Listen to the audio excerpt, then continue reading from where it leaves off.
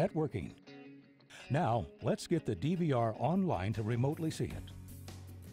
Connect the DVR with a network cable. Connect the router with the other end of the network cable. On the DVR, right-click and go to Main Menu. Then click on the network icon.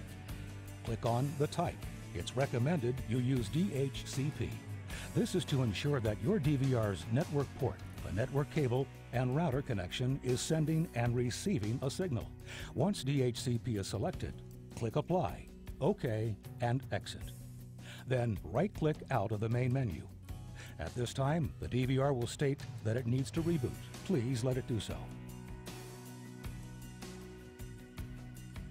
When the DVR is rebooted, please go back to Menu and Network to discover an IP address of the DVR.